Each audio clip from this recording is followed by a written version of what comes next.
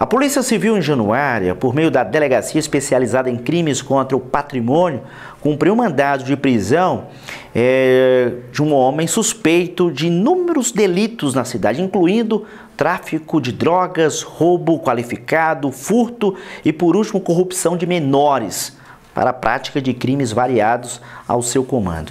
O delegado William Fernandes, responsável por este trabalho, nos enviou um vídeo falando dessa situação.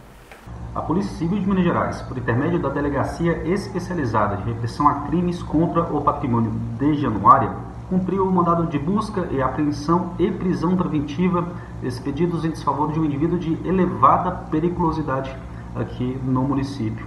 Esse autor é investigado por crimes como sequestro, tráfico de drogas, porte ilegal de arma de fogo e, especificamente no que tange a essa investigação, crime de roubo. Há algumas semanas aconteceu um crime de roubo a uma mercearia na parte alta da cidade. Apurou-se que três autores menores, adolescentes, executaram o crime a mando desse indivíduo que foi preso pela Polícia Civil. A investigação mostrou que ele treinou esses menores e forneceu a eles a arma de fogo para a execução do roubo que tinha por objetivo liquidar uma dívida de drogas anteriormente existente.